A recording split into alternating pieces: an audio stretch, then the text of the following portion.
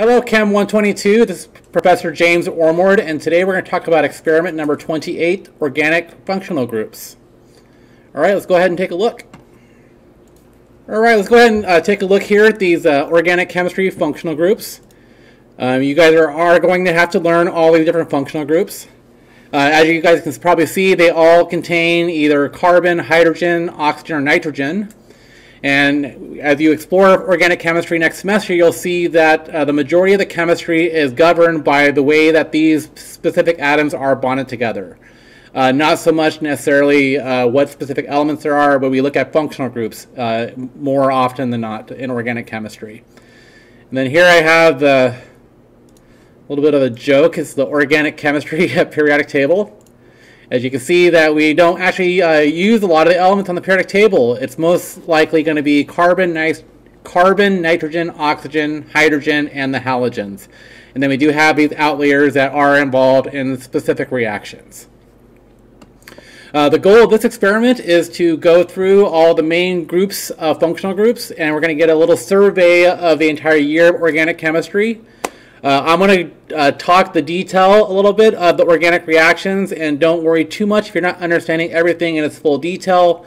Uh, the main takeaway from this lab is that you're learning your functional groups and that your, uh, your observations are being put to good use. Okay, uh, the first experiment we're going to be doing is we're going to take a look at the solubility of alkanes. Uh, recall from the chart that alkanes are simply carbon-carbon single bonds, no double bonds, no oxygens, nothing like that. Uh, these things are generally uninteresting in organic chemistry. They don't react very readily. Uh, they, however, do make really good solvents and they burn very well. So we're going to be doing that in today's lab. So uh, solubility here, uh, uh, we see the word miscibility here. Uh, miscibility is specifically referring to two liquids mixing together. Okay, so we're going to take some hexane and then we're going to add some water to it and see what happens. So uh, what we should expect to see for things that are uh, soluble or miscible with each other is the liquids mixed together. And then if you get a biphasic mixture, that means they're not mixing and they're immiscible then. Okay, we are going to do a series of solubility tests. We're going to test the solubility versus water and hexane. And I wanted to make sure that everyone has a clear picture of what immiscible or insoluble is versus what is soluble. So we're going to try to show these two side by side. Okay, so this solvent on my on your right, my left is water. This solvent's hexane. We're going to add cyclohexane to both of them. And first I will show you water. So where's the test tube? Okay. And I'm just going to add a big squirt. And let's see if it looks towel. better with the towel. Yeah, that's good. It almost looks better with dark, with my hand. Okay, you see, no two matter layers. how hard I shake it, there is always two layers. I'll shake it again. It immediately separates into two layers. This is a good example of a polar and a non-polar. They do not mix, so they're completely immiscible. I'm going to put this one in this test tube. Then we're going to do cyclohexane into hexane. So this is nonpolar into nonpolar. And you should have saw right away that there was no line of separation. So side-by-side -side comparisons. One has a definite line. Use the paper towel too. I'm going to try the paper towel. see it pretty good there. You can see it pretty well. Yeah. And one of them is completely miscible. So we're going to... Okay, uh, the next text we're going to look at is the combustibility of alkanes. Uh, here we're going to be uh, taking some test tubes and uh, doing something we shouldn't be doing in an organic lab is lighting a Bunsen burner.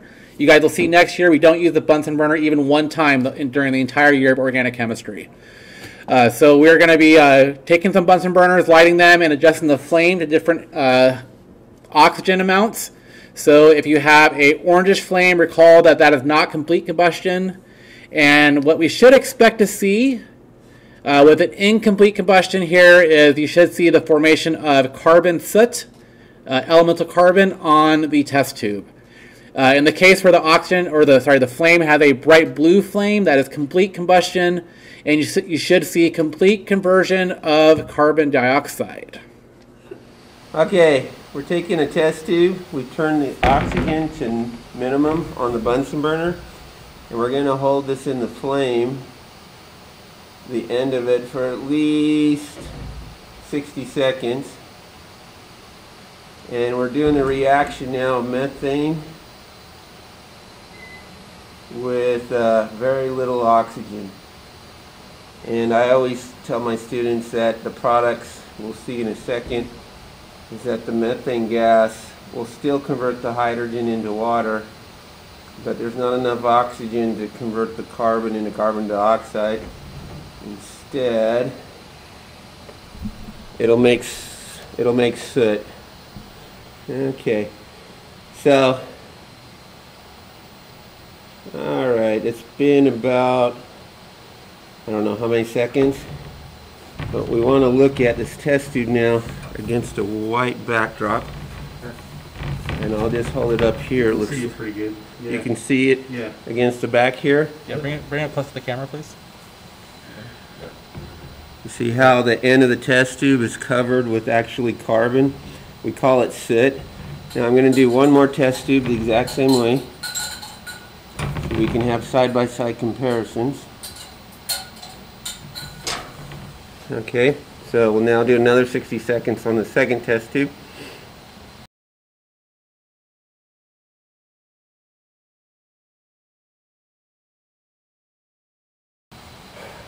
All right. It's been about 60 seconds and you'll see we have a second test tube. Has a lovely dark soot coating as well. So to do the side by side now, we're going to take this one. We're going to change the oxygen intake on the on our Bunsen burner to make the methane turn into a bright blue flame. All right, can we see that on the Bunsen burner? Cut the light for a second. There we go. That's better. Okay. Now you see that lovely blue flame? You see it? Yeah. Okay. What we're going to do is we're going to take that second test tube, put it on the end of the flame, and make it glow nice and yellow for about a minute as well. There we go. You see the lovely glowing color. And now we've added excess oxygen. So we'll be able to compare the two test tubes side by side. Go ahead, turn the light on. So this was the one that originally looked like the second one. You guys see that? Hold that nice and close. So the bottom one is limited of oxygen, that makes carbon soot. The top one, the carbon all turned into carbon dioxide and you don't see as much soot. Okay, for the uh, next experiment, we are going to be taking a look at alkenes for this part. Uh, recall that alkenes are compounds that contain a carbon-carbon double bond. Specifically, they must have a carbon-carbon double bond to be considered an alkene.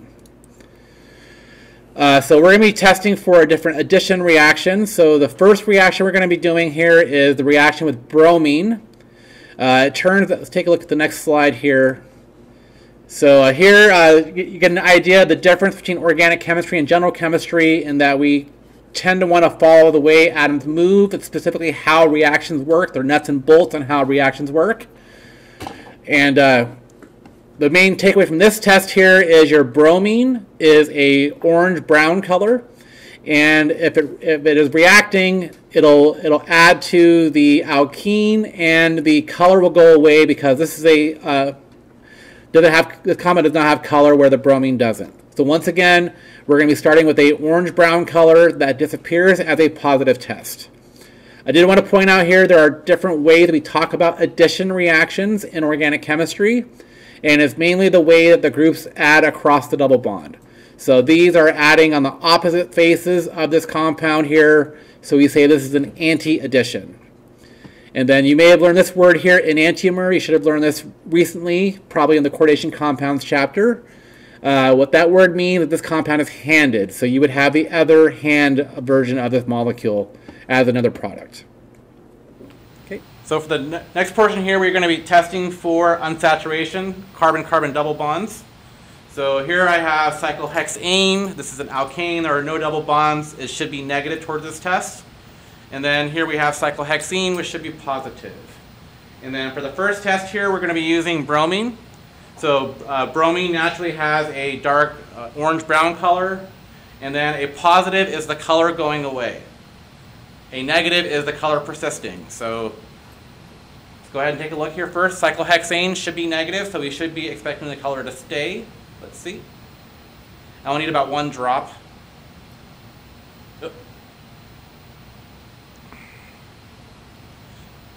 Yep. Color persists. That is a negative. Good thing I have paper towels down. All right, cyclohexene, let's go ahead and take a look. You see the color uh, disappears as soon as it touches the liquid. Yep, I'm actually dropping quite a bit in there. Color goes away. That is positive. All right. And just for fun, let's see what happens when I pour this one into this one.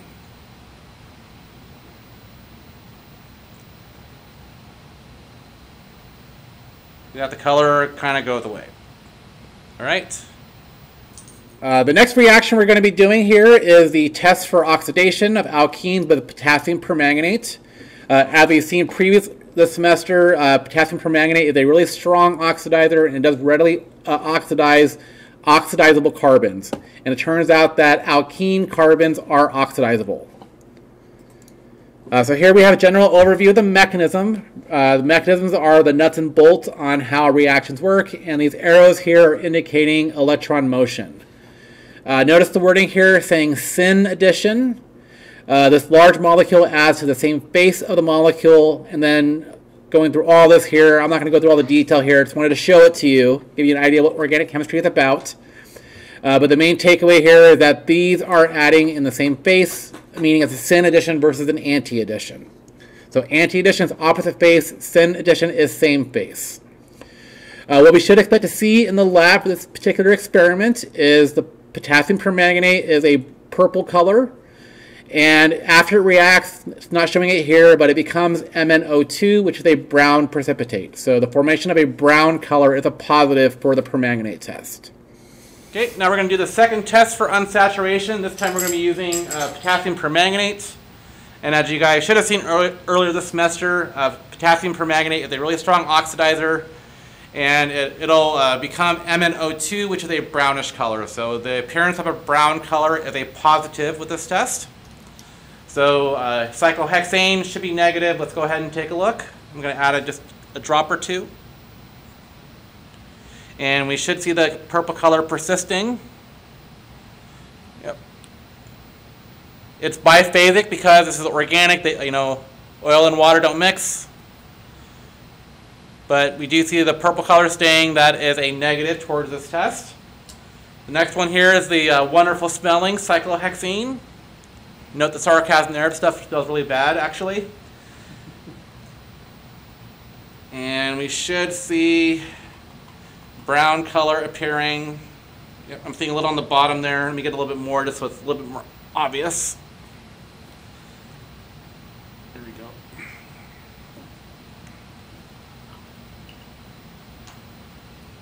I'm seeing the discoloration. Let me hold them side by side. It'll be really obvious then. Let me get a paper towel. So this was cyclohexane. And then this one was cyclohexene. So the brown color there is a positive. All right. Okay, uh, for the next portion of the experiment, we're going to be looking at the solubility, miscibility of different alcohols in polar and nonpolar solvents. Uh, one general rule for alcohol solubility in water is that it's typically considered to be soluble if there are less than or equal to three carbons, sorry, uh, three carbons per OH. So the lower the carbon count is per OH you have, the more soluble it is. So for example, I would expect a 3 carbon alcohol to be soluble, where a 7 carbon alcohol should be insoluble in water. So we're going to be taking a couple different alcohols here, uh, ethanol, propanol, and then we have this 2-methyl 2-propanol. You should have learned your alkane nomenclature a little bit in your lecture. Um, we should see a difference in solubility in water. Uh, you're then going to repeat the experiments with hexane, which is a 6-carbon alkane. It is completely in, uh, or, sorry, non-polar, uh, so we should see some interesting differences here. So one solvent is polar, water is polar, and then our non-polar solvent is hexane, and then dissolving different alcohols in them and seeing where they go. Um, we are going to do the same now on a smaller scale with alcohols. So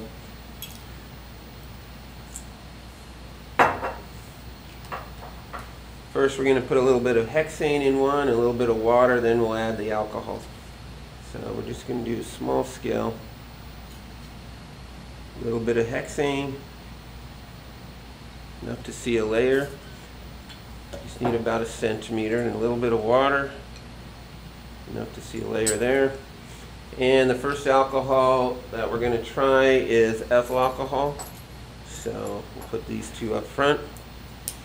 Ethyl alcohol and I almost want a black backdrop. I'm going to hold it right here. We're going to add a couple squirts in the water and ethyl alcohol. You see two layers? I got it. The black backdrop's working really well. And that one, as you can tell, what kind of layers are there? Now we have the hexane and ethyl alcohol. And we're going to shake that together. Now, an interesting thing about polarity, if you're soluble in both, we like to say those molecules are bipolar. In other words, they can't decide if they're polar or nonpolar, they're some of both.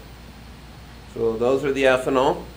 We're going to do the same thing now with the rubbing alcohol, also known as isopropyl alcohol, or in your book it's called 2-propanol. So a little bit of hexane.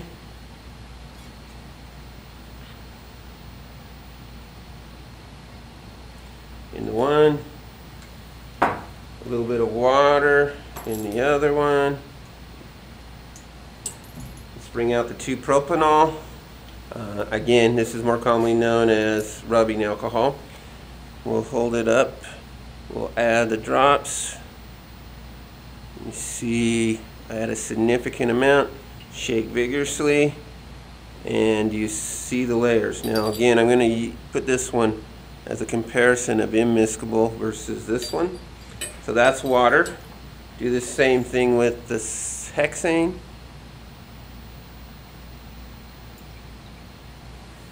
Shake them up. Looking for two layers. Okay. So that takes care of the isopropyl alcohol. Do the same thing with tert butyl alcohol, also known as 2 methyl 2-propanol. That's this one. 2-methyl 2-propanol. Okay, first we got to put a little solvent in, so water, about a centimeter, hexane, about a centimeter, and then we'll add a squirt to each. So, 2-methyl 2-propanol. Now this one, hopefully I added enough you, nope, we're not seeing it. Right around four carbons is the breaking point between solubility and water or not. This one, 2-methyl 2-propanol, has exactly four carbons and so usually they say it's mostly soluble but somewhat insoluble. I'm going to see if I can exceed the water limit. Probably not because it's still looking soluble. Um, if we went to five and six carbons, it'll become more and more like this one that's completely insoluble. So that's a general rule for alcohols. Right around four carbons is about the maximum you can dissolve per alcohol. Let's see what happens in hexane.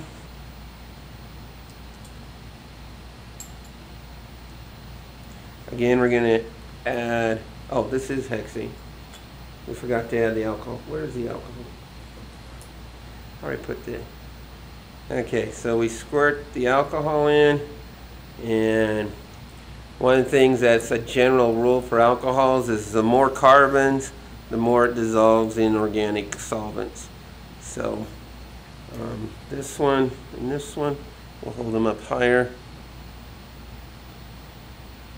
and together. Okay, so that ends the solubility test for the alcohols.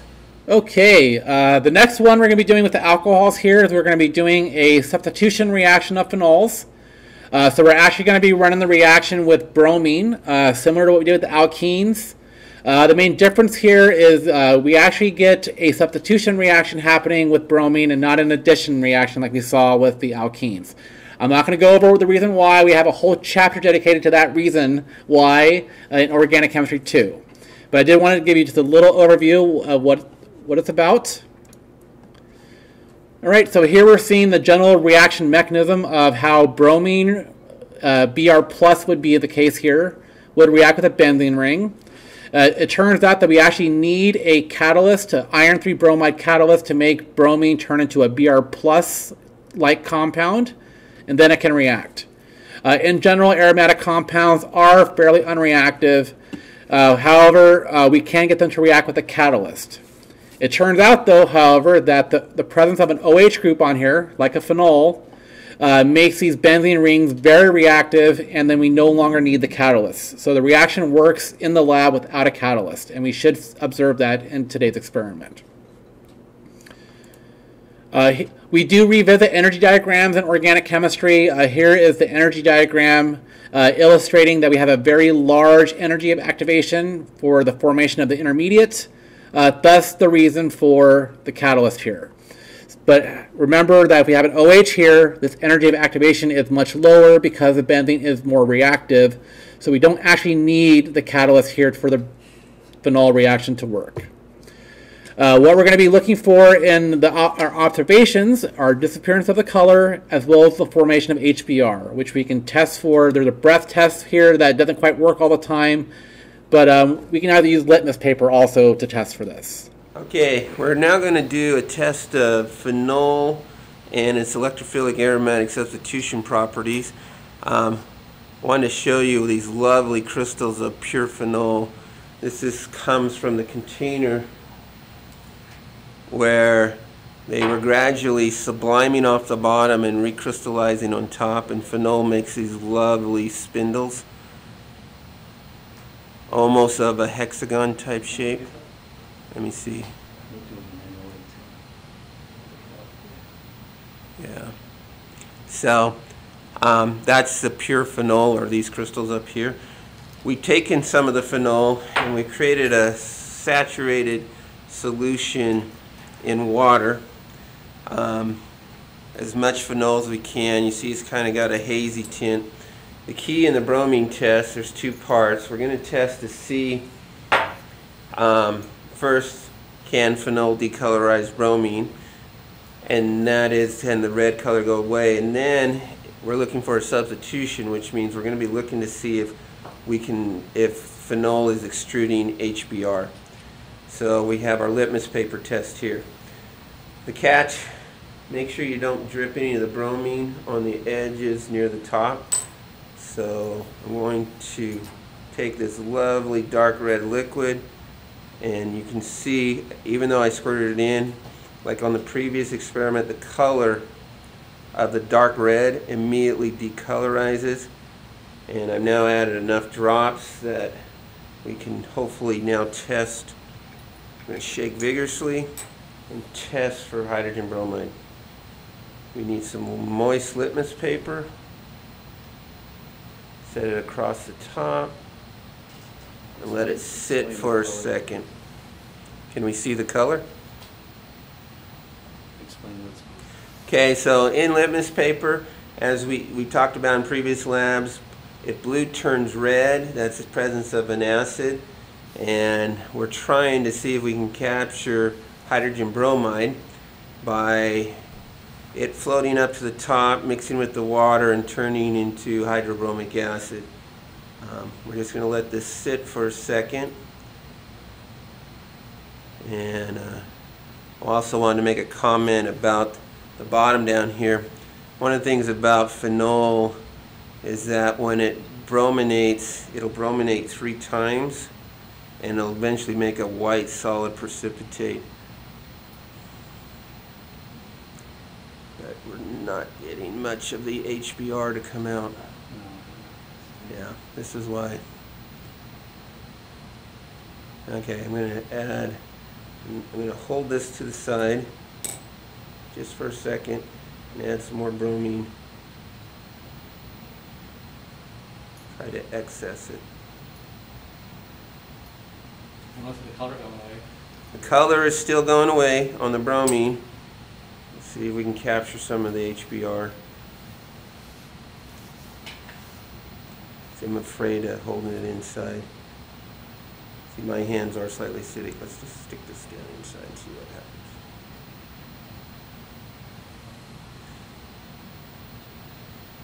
Still not seeing it.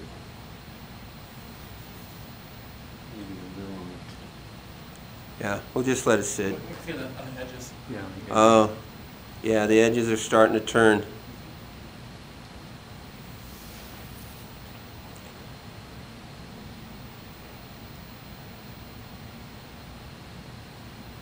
Okay. See it on the edges there. Yeah, and so the evidence of the blue turning pink is evidence of making hydrogen bromide gas.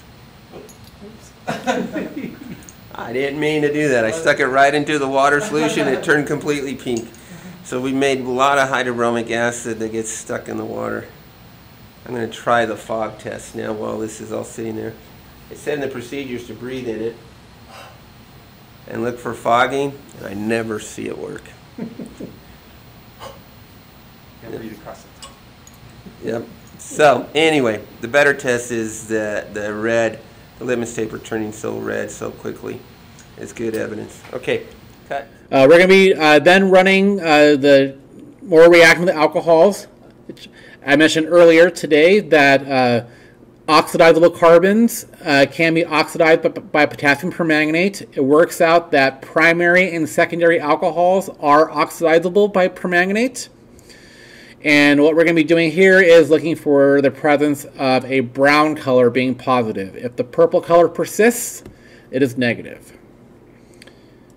Uh, here I'm showing a stepwise oxidation of our alcohol. It turns out that alcohols will fully oxidize to carboxylic acids. Uh, the way that we approach oxidation and reduction in organic chemistry is a little bit different than what we saw in uh, general chemistry. Uh, specifically in organic chemistry, we look at the number of bonds uh, to oxygen from a carbon. So here in the starting compound, we see that this carbon has one bond to oxygen, and then our final product has three bonds to different oxygens. That is an oxidation. And then the intermediate here had two bonds to oxygen compared to the starting one. So first oxidation, second oxidation. Turns out permanganate does this very readily. It's a strong oxidizer, works very fast. Okay, we're now going to test for the oxidative properties of alcohols using permanganate. Uh, we're going to first start with ethyl alcohol. I already added a small sample, so now I need to add about four or five drops of the permanganate. One, two, three, four. And what we're waiting to see is how long does it take to change its color. And you remember permanganate starts off purple when it's at a plus seven. When it goes to a positive four, it turns brown. And if it goes all the way to positive two, it's practically colorless. It's a very, very pale pink. Okay, so now we're going to do some rubbing alcohol. Same thing. One, two, three, four. Shake it up. See how fast that one changed? We have some tert butyl alcohol already in here. It has a bad habit of freezing at around room temperature. We're going to add five, four drops to this one. One, two, three, four. Shake it up. Wait for that one. And lastly, we're going to do benzyl alcohol.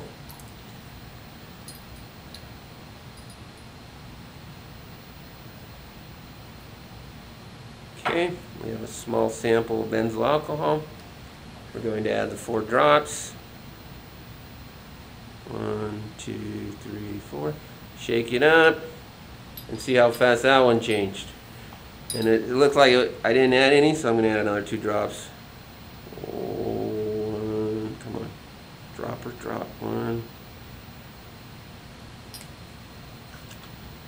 I think there's something plugging our dropper. We get plugged. Got some manganese oxide. Yeah, it's definitely plugged. Okay, well, at least we got five drops in there. And you'll see the lovely color change that happened with the benzyl alcohol. So, after about, uh, we've been going now for a, about a minute and a half. And you can see which ones changed and how far they changed. And how quickly they changed. Okay, uh, the next here we're going to be uh, taking a look at some of the chemistry of aldehydes and ketones. Uh, these are compounds that have carbon double bond O bonds. And we're going to be doing the very classic Tollens test or reaction with ammoniacal silver nitrate. Uh, in the lab here, we actually make this solution. Uh, we actually make it a little bit different than the procedure says. Typically, the way I typically make this stuff is I will take some, some silver nitrate and I'll add uh, concentrated ammonia dropwise until the precipitate appears, and then it just goes away. And then I'll add a little bit of hydroxide to it to make it more alkaline, and then I will that'll make a black precipitate, and then I will add concentrated ammonia dropwise until the precipitate just disappears. And then you have your active ingredient for an oxidation reaction. So uh, here's the general overall scheme on what we're making here. So uh, silver nitrate and hydroxide can form silver oxide. I mentioned a black precipitate, that is silver oxide. And then it turns out that if you have ammonia around, it'll make this complex ion. That is actually our active ingredient. Shown in the reaction here is an Ag+. And any aldehydes will oxidize into a carboxylic acid. Uh, this is commonly referred to as the silver mirror test or the Tollens test. And notice here we're seeing metallic silver as our product. We, we are going to do the Tollens test, which is a test to distinguish the differences between aldehydes and ketones. All the sugars in nature on the planet are either an aldehyde or ketone. So your conclusion is we're going to test glucose, the most common of all the sugars, to see whether glucose is an aldose sugar or a keto sugar. So to do that first we got to make the Tollens reagent. We need about 20 milliliters. So we're going to pour out about 20 milliliters of the silver nitrate. And we have a nice colorless solution. That's good. Then we're going to add about 5 milliliters of sodium hydroxide. The amounts don't matter, but you will see when as soon as we add this, it turns to a nice dark black color. There we go. And now the secret to making the Tollens reagent work really well is add just enough concentrated ammonia till all this dark precipitate completely dissolves. Now I gotta hold my breath on this part. So we'll just squirt in. Ah. Okay, guys, no breathing over here. You need smell-o-vision. Breathing concentrated ammonia is a nice way to wake up in the morning. it was used in the old days as smelling salts to help fainted ladies recover. Okay. That looks about like enough. I can Let's just do one more swirl. And if we look closely, all the precipitate has redissolved. I'm going to add just a drop more. There's a little speck on the bottom. And close this lid. And get it far from me. okay, we're done breathing the ammonia we have a nice Tollens reagent here. So now we can put about a fourth of it into each test tube. Again, the, since this is a visual, we don't need an exact amount. We just need some Tollens reagent into each before we add our aldehyde or our ketone. Okay, so we have some Tollens into each. Um, our first test reagent is going to be some acetaldehyde. We just need to add one squirt.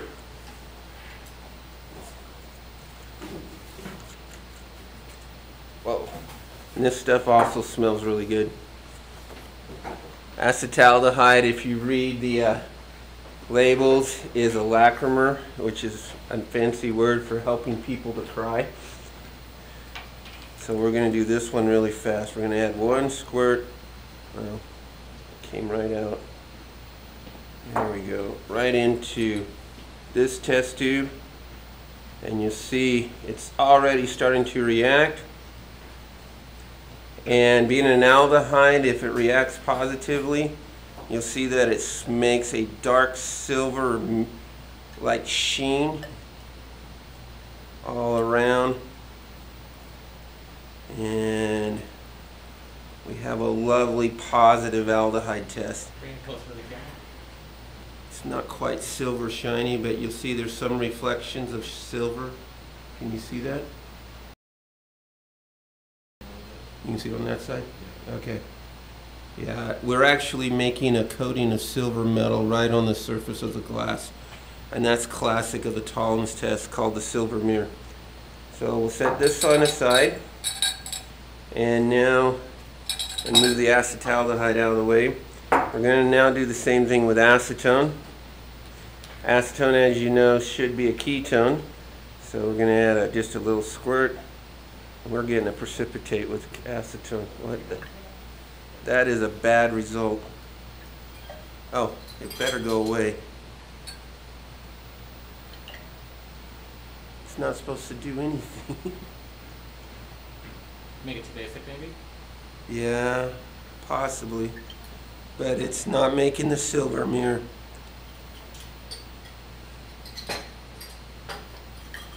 Okay, so we're going to say this is a negative test.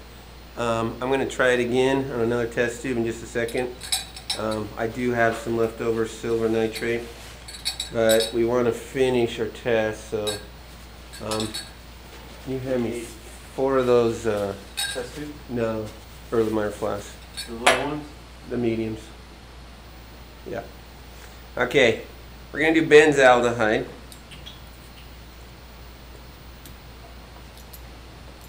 Yeah, I want to just set them up. So this one, the nice, the bigger one.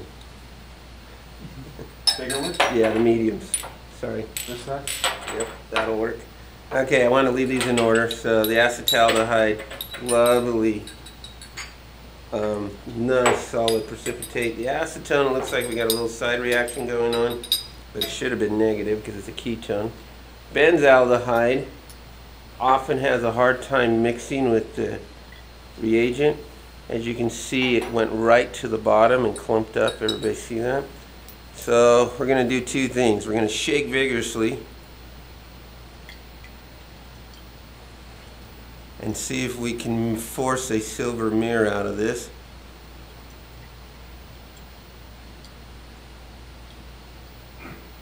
Benzaldehyde is bitter almond. Yeah, or cherry cough syrup. That's what it reminds me of when you smell it. Okay, so the benzaldehyde, I'm going to bring it up close. You'll see that it um, is starting to make also a silver coating. It made a lovely dark precipitate.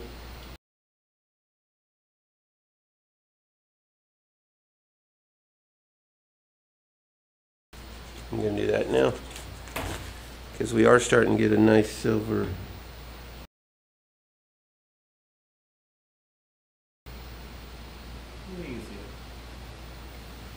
Yeah. Okay. So we'll put that one in that Erlenmeyer. So we'll have them all stacked up here. Okay, and the last one is sugar, glucose.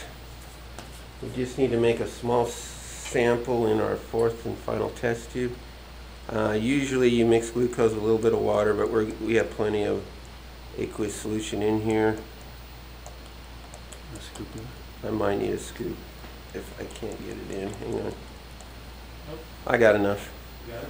You got it? Yep, let's see how it works. Okay, the glucose is now sitting on the bottom. Sure this is glucose?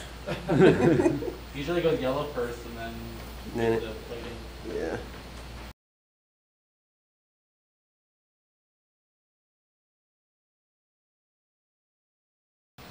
Well, usually you only have to heat it for a second. Oh. So I heated it for a second. Oh my gosh, that's, that's such a difference. Turn, turn the test tube, you can see the silver, I think. Yeah, the very bottom is, is really silver. And the sides are turning silver. Let me shake it harder. Okay, let's bring this one up nice and close. Yeah, that one's showing up really good. This one's showing up well. Yeah, Okay, the so really- you see the silver completely coating the bottom. It's got a nice silver mirror, it's reflecting the light completely. Even the sides are showing silver. So, what is our conclusion about glucose? Is it an aldehyde or is it a ketone? Aldohexose. Aldohexose. I'm gonna redo acetone right now. You want another test tube? Yeah. Okay. Acetone is doing a side reaction, which is one of the possibilities. Um, under basic conditions, acetone can make an enolate, which can cause a reaction with the Tollens test. So I'm going to do it slightly backwards. So we're only reducing sugars positive to this test? That's not always true.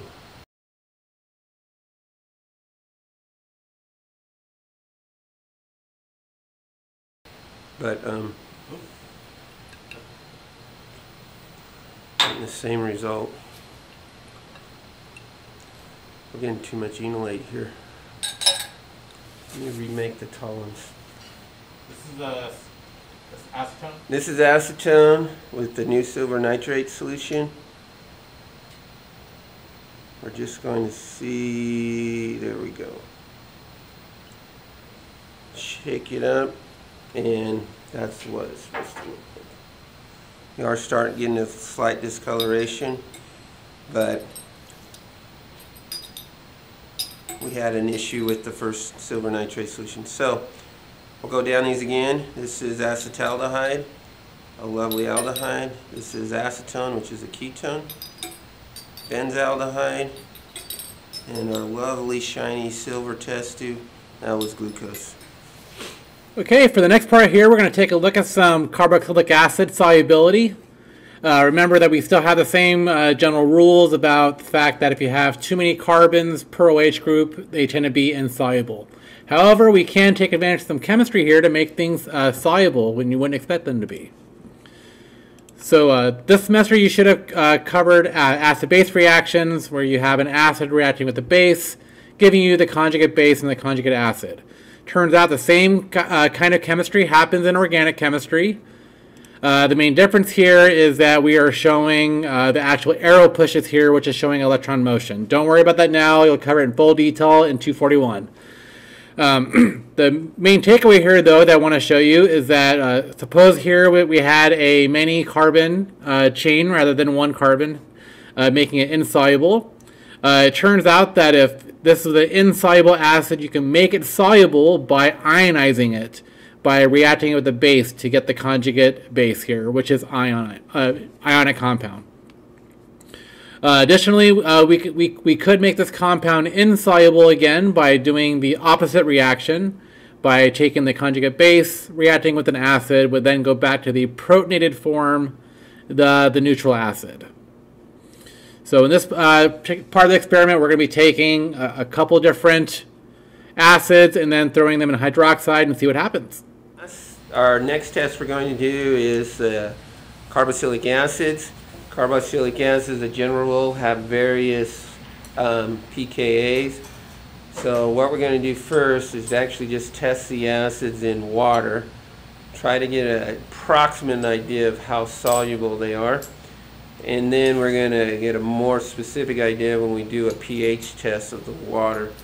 You can talk about how soluble they are based on the pK calculations. Okay, so our first acid we're up for is glacial acetic acid. We are going to, actually this one we'll just add by drops. we have very strong vinegar here. I just took a whiff of it. We're looking to see if it makes two layers. And you see two layers? This is one thing that's nice about vinegar. Everybody loves vinegar because it mixes with anything you make in water. Um, and those of you that love oil and vinegar, that's that. So we dissolve some uh, acetic acid in the vinegar. Let's now do a pH test. We're going to use these dipping sticks and then we're going to compare. So first thing is to get the liquid completely over all four. There we go. Look at the colors carefully and do a side by side. Uh, okay, I'm going to switch hands so I can show it to you guys better. Okay, so we're trying to match colors. And if you ask my opinion, it looks like it's somewhere either a 1 or a 2. And if you want to go halfway in between, it'd be a 1.5, but it looks pretty close to a 2. So that's the solubility and the pH of our vinegar. Everybody good with that? Okay, so I'm going to just leave that one there. Now, the other two acids we're testing are actually solids. So, dissolving solids has the same challenge we had said before about phenol. We want to see if any of the crystals dissolve. Um, capric acid is actually named for the goat smell. It's too bad you can't smell this because it reminds me of my farm days. Uh, I used to milk goats every morning and every evening. So I'm going to take a small sample. I know this is going to exceed the solubility, but I want to see if I can get any of it to dissolve. And based on how much dissolves, we're then going to do a pH test. So you'll see there's still crystals floating around inside. I don't know if you can see that with, probably the dark is better. Everybody see the crystals floating around? So we'll just shake it for about 30 seconds, dissolve as much as possible.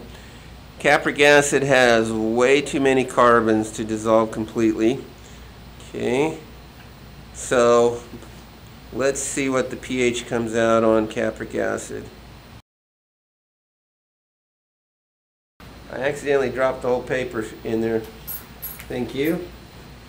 We're going to pull this paper back out now that we had a chance for it to react in the solution. And we're going to compare the pH now of the capric acid. Uh, switching hands.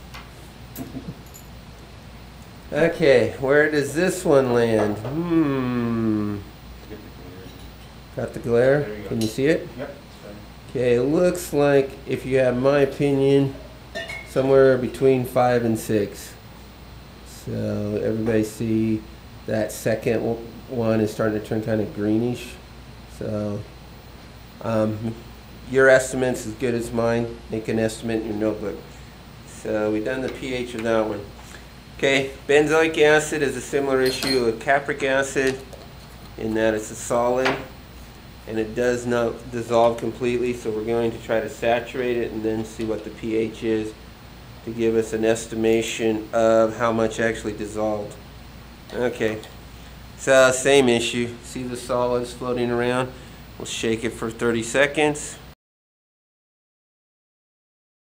Okay, then we're going to run the pH test of this one. This time I'll try not to let go. I have my tweezer just in case I accidentally let go again. Okay. I got all of them nice and colored. And now we want to do a comparison again. All right. So, again, can you see the colors? Yes. All right. It looks like we're sitting between a 3 and a 4. Yeah, the 3 is on your left and the 4 is on the right. It's definitely a little darker than 4, but I don't know if it's as dark as the 3. Okay, so you noticed we had three different carboxylic acids, but they had slightly different pHs, actually very different pHs because they have a different amount of solubility. um, and you do the comparison. Now we're going to take these test tubes, put them back here in our rack, and we're going to see what happens to the solubility only when we add sodium hydroxide. The pH will no longer matter because we're adding so much sodium hydroxide, it's going to be pH about 10 to 14. Okay, so we're going to do this slightly in reverse. And we're just going to be looking for solubility. So this is sodium hydroxide. We'll put the sodium hydroxide into all three of them.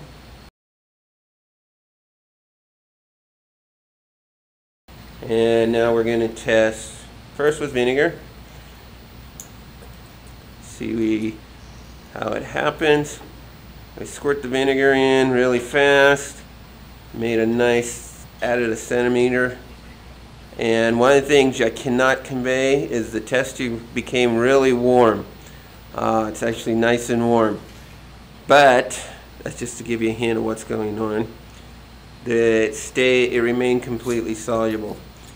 All right, I'm going to skip capric acid for a second. I'm going to come back to it because I like what it does. We're going to talk about that one last.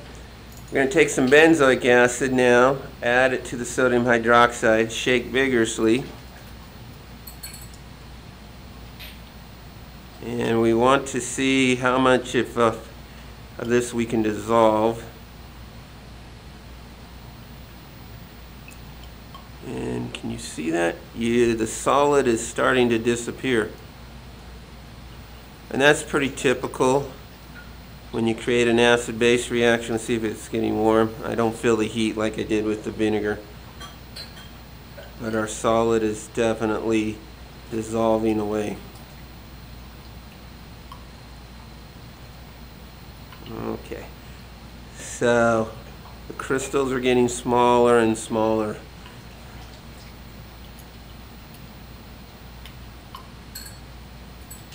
So one of the things that you, we should note about carboxylic acids is if they do react with sodium hydroxide, they make a carbonate anion, uh, in this case sodium benzoate.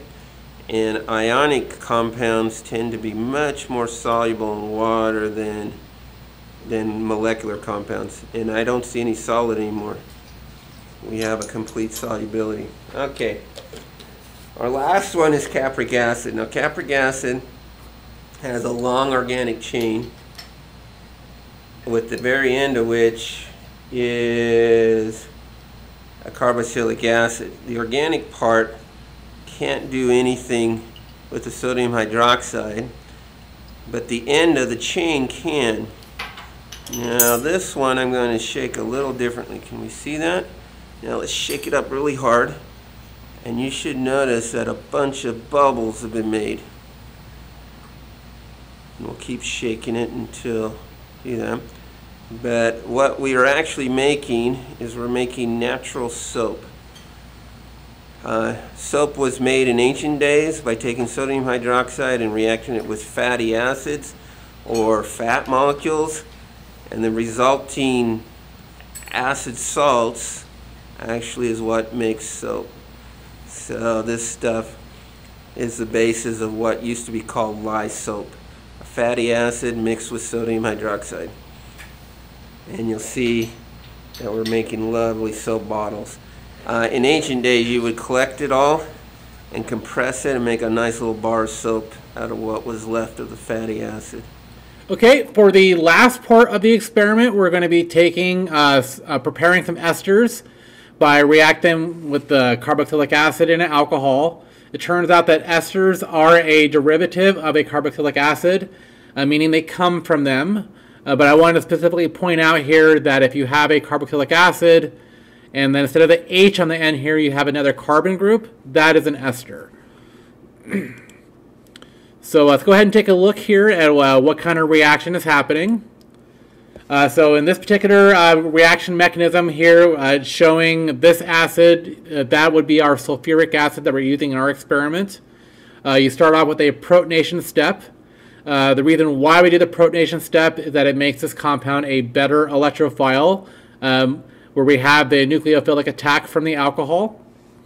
this reaction does not happen as readily if it's not protonated first.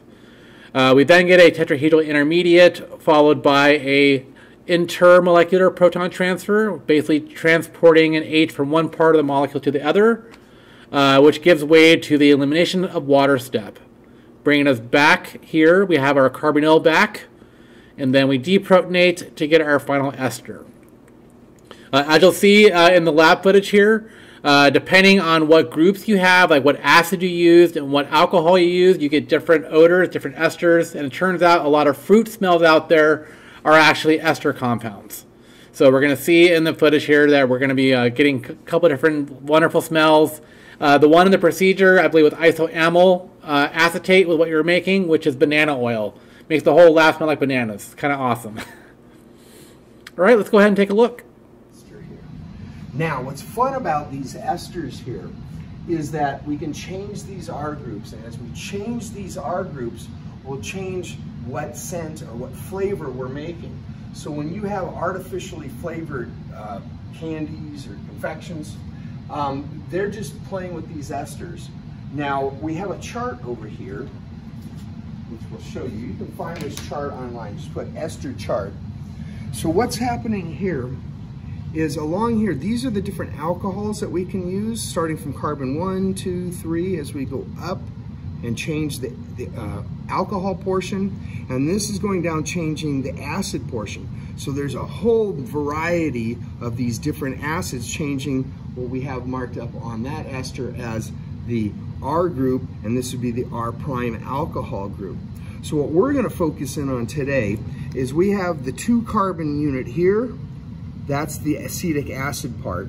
So we're gonna use N-propyl alcohol and we're gonna try and make the flavor of pears. We're gonna take pentyl alcohol, which is isopentyl alcohol, and we're gonna make banana flavor.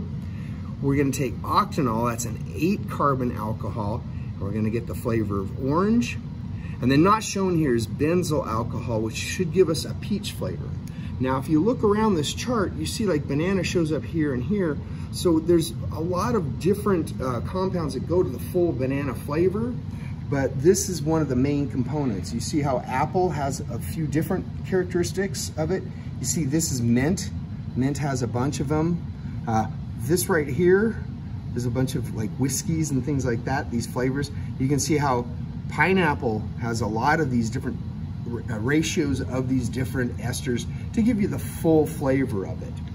Um, so, like I said, we're gonna we're gonna shoot for pear, banana, orange, and peach is gonna be the benzyl alcohol. So we're gonna try and make four esters, four flavors. I'm sorry we haven't developed smell-o-vision yet, but you can you know eat some fruit while you're watching this and we'll show you the procedure for doing it. Hopefully next semester we'll be live and you'll actually be able to make these and we can do the smell tests and maybe we'll do a blind smell test eventually when we get everybody in lab and we can see if we can pick off these different flavors. Okay, so let's go do some chemistry and make some esters.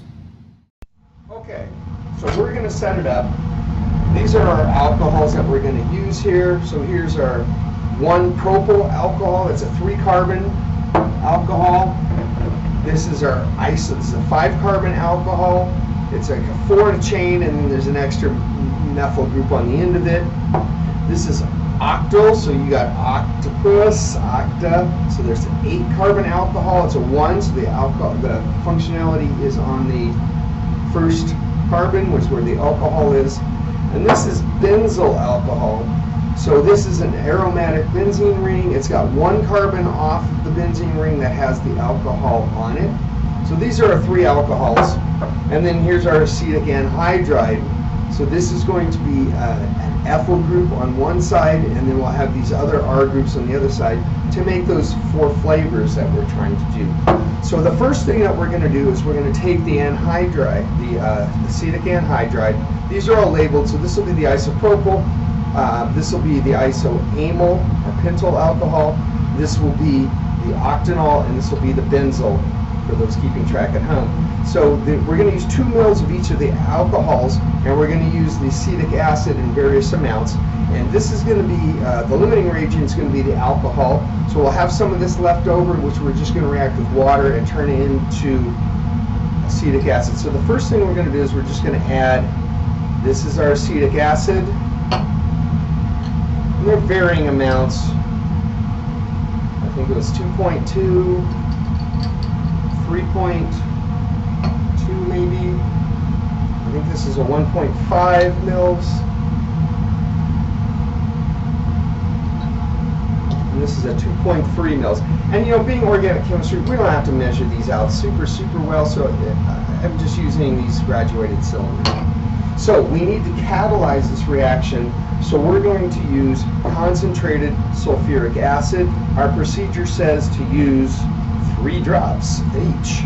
So I'm going to put these in here, and we're going to put in three drops. One, two, three. Uno, dos, tres. Two, three. Two, three. Okay. And this is sulfuric concentrated, so you really want to be careful with that. So I'm going to put it capped up, put it way in the back of the hood, out of the way so we don't spill that. Okay, so this is an exothermic reaction. So we have all these labeled. I'm going to put them into ice bath here.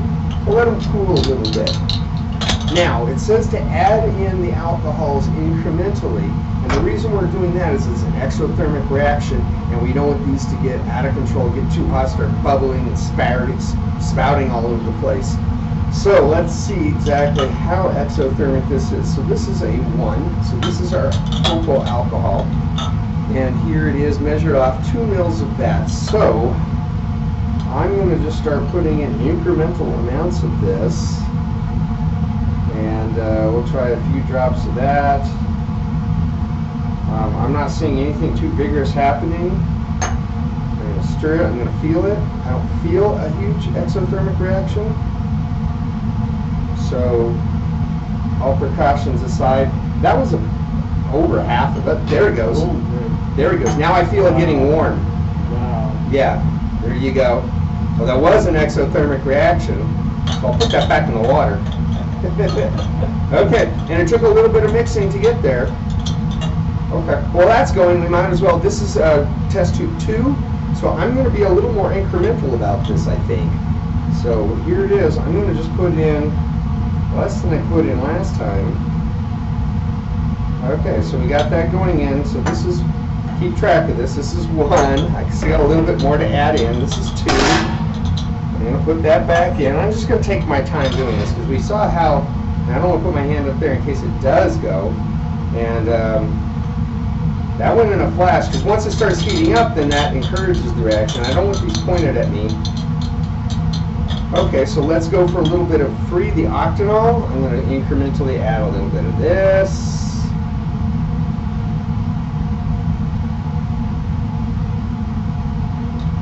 All right, there's three. We'll let that react. I'm feeling this one. I don't feel it too exothermic yet. And then we'll start incrementally in four, which is our benzyl alcohol. And these are two mils each of the out. A bit, okay. And again, look, I'm pointing this into the hood, so this is going to go spurting into the hood. It'll make a mess but it won't attack anybody. And I can feel this getting warm. It's exothermic. We'll throw that back in here. One has had a time to react a little bit. It's cooled off now. I've got just a little bit left of that, so I'm going to put in the last increment of that. Okay, so now that's all been added in. And we're going to let these react a little bit at room temperature. We've got a hot bath going on over here, so we're going to heat these up to get them to go to completion but we just don't want to do that all at once. So there's a little bit more too. I got a little bit more to add incrementally. Just take your time. I've got three here.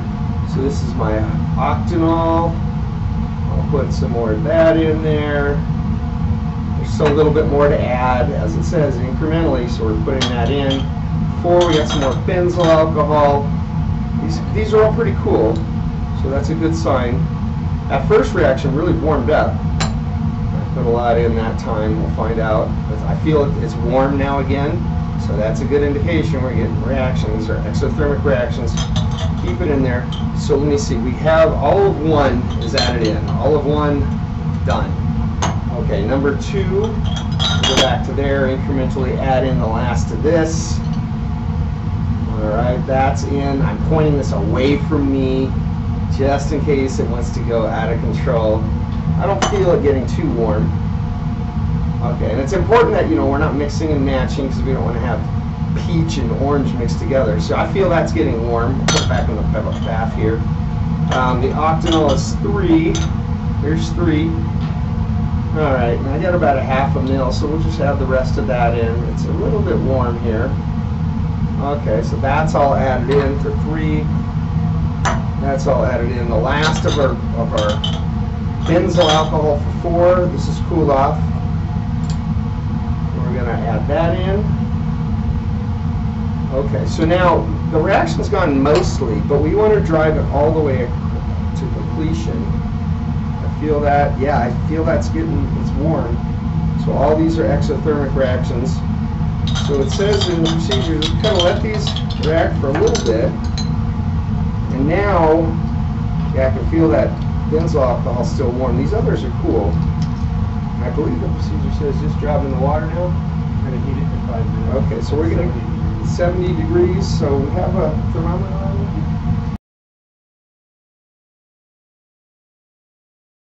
So I'm going to drop these in. We can heat it up as we go.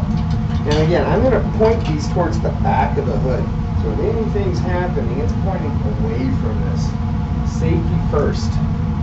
And uh, so it's approaching 160. So I'm going to I'm to I'm to turn this up just a little bit. Let it do its thing. Okay.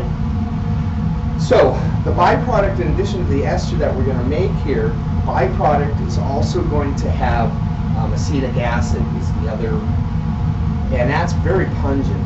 So once these are done, we're going to react the rest of the acetic anhydride, the excess amount, make acetic acid, which is water soluble, and then we're going to wash these out. This is an or organic product, so it shouldn't mix with the uh, water. So we'll get the uh, organic compounds that are non-halogenated are usually less dense. So we expect it to be on the upper layer when we put it in the water, and the bottom layer will have uh, the water extracting out that acetic acid. So when we go to smell these things eventually, we won't be overwhelmed with that acetic acid smell, and we'll hopefully just smell the ester. So once we get these up to temp, I'm going to crank this up a little bit more. We don't see anything going out of control, so that's good. And we're just finishing off these. So again, this is number one for isopropanol, isopentyl alcohol, octanol, benzyl alcohol. So according to legend, this is going to be pear, banana, orange, and peach. And we'll have to confirm that. Okay, so we're all right.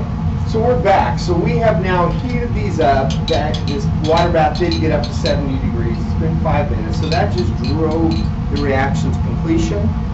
So now we're going to cool these. I've just got a little bit of ice in here, and we're going to cool these down.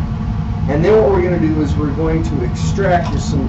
There's still some acetic anhydride left, so we're going to put a little bit of water in here to hydrolyze the last of the acetic acid. Um, I mean, acetic anhydride to acetic acid, and then we're going to wash it with uh, sodium chloride, saturated salt solution. It's going to be half saturated, so we're going to dilute this with 50-50 with water. We're going to do extraction with this first. We're going to do an extraction of sodium bicarb. This will neutralize any acid that's in there.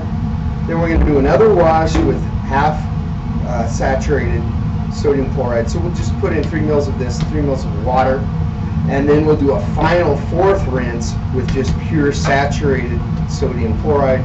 This extra salt content being saturated, it'll help draw out water from the organic layer, which is basically our ester at that point. Okay, so these are cooled off. It's said to add eight drops? Yes, eight drops. eight drops of water, and this is just to take that acetic anhydride and we're going to hydrolyze it to acetic acid. So, so now it says to make six mils of half saturated sodium chloride. So what we're going to do for this is we're going to add three mils of this and then three mils of pure water to each.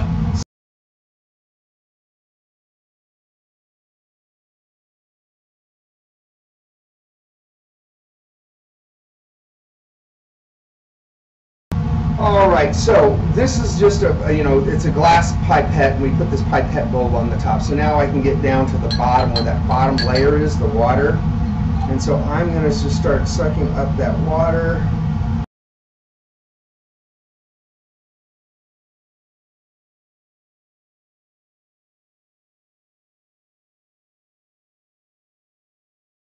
Okay, I'm gonna do the smell test and see what happens. Now when you do this, I wouldn't put your nose right in there. You want to kind of waft it towards yourself.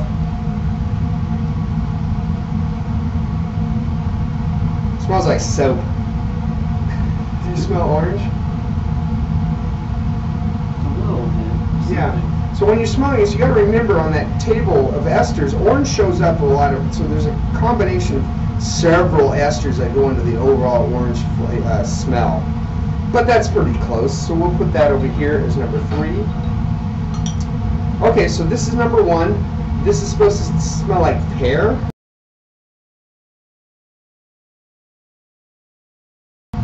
I still smell a lot of acetic acid, but I've got a hint of pear in there myself.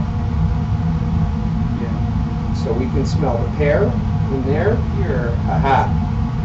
Look at this. This is this is a mess.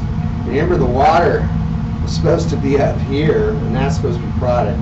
So this is an emulsion in here. We might have to do an extra rinse on this.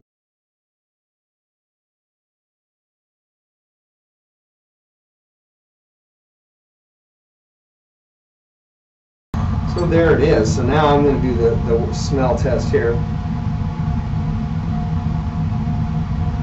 Yeah, you kind of got to imagine peach. It almost smells like banana still, does it, doesn't it? Yeah, and you know, who knows, the banana oil might have a little bit of that in it. Okay, so I'm gonna give. You're not watching, right, Mark? Okay, so I'm gonna give him. I'm gonna give him one of these, and so it's gonna be either pear, banana, orange, or peach. Okay, Mark. What do you think? Which one is it? I think it's orange. He's got he he got it. He nailed the orange. Okay. Well, now he's got one out of three to get it right. Okay, you're not looking, right? You're not looking. We all know what this. Be quiet, people. Don't give him don't give him a hint.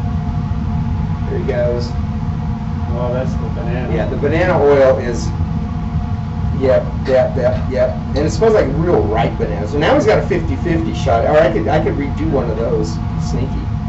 All right, so let's see. Let's these two are going to be the more difficult ones.